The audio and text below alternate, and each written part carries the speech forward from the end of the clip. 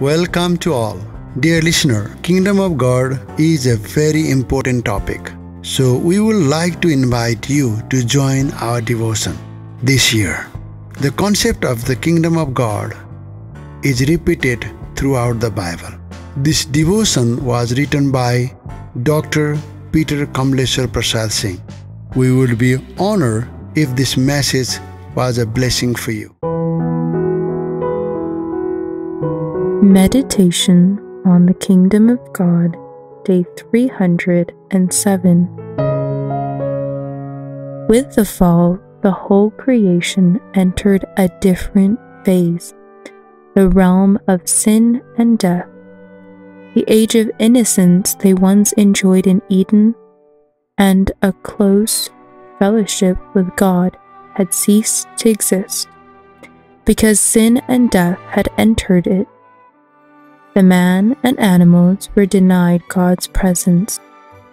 They were driven out of the Garden of Eden for eating the fruit of life, and they could not return, as it was guarded by cherubims and fiery swords. The blessings of procreation began, and Adam and Eve had children, and so did the animal kingdom but the life without God led men to the lowest level of depravity. Then the Lord saw that the wickedness of man was great in the earth, and that every intent of thoughts of his heart was only evil continuously. And the Lord was sorry that he had made man on earth, and he was grieved at heart. Genesis chapter 6, verse 5 and 6. As a result of sinning, man had become independent, accompanied by rebellion.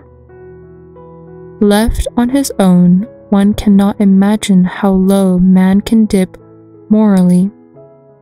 Man had chosen an independent living, which resulted in every intent of the thoughts of his heart, which is only evil continuously.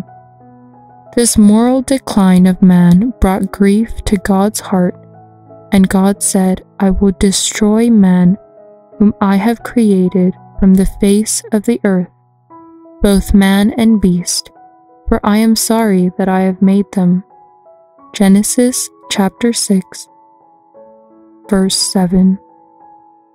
Do we preach judgment? No, we don't. We preach and teach the truth. God is love, but He is also holy, almighty, and with other attributes. Covenant keeping God.